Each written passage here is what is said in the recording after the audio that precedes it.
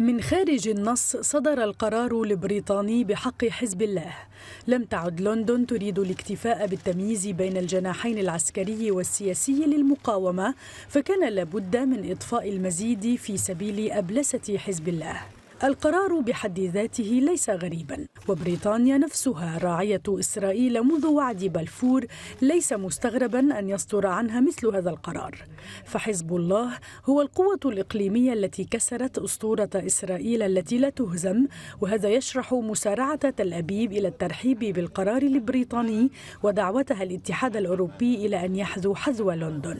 في الواقع الغرابة تكمن في أمرين. اولا في المضمون وثانيا في التوقيت. فالقرار يشمل في إدانته كل مكونات الدولة اللبنانية تقريبا لكونه ينص على أن العضوية في حزب الله أو الدعوة إلى دعمه إنما هي جريمة جنائية تؤدي إلى السجن لمدة تصل إلى عشر سنوات.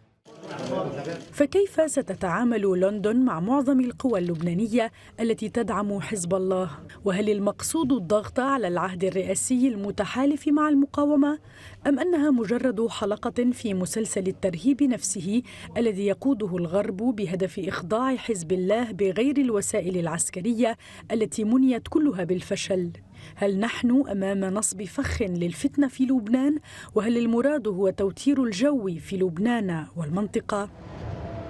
ومن هنا تبدو لافتة للانتباه مسألة التوقيت، ففي جنوب لبنان لا تسجل تطورات تستدعي القرار، والأمر نفسه ينسحب على الوضع الحكومي الذي سلك دستوريا.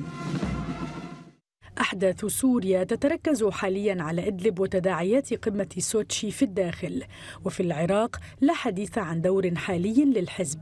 أما الأوضاع في اليمن فمتجهة نحو إنجاح المبادرة الأممية على الأقل من جانب حكومة صنعاء وأنصار الله. وأبعد من ذلك ماذا عن التناقض في سياسة لندن التي تارة تتهم حزب الله بأنه ميليشيا تابعة لإيران وطورا تفصله كليا عن إيران عبر حرصها على الحفاظ على الاتفاق النووي الإيراني. ربما الجواب يكمن في موافقة البرلمان البريطاني على القرار كشرط ليصبح الجمعة ساري المفعول.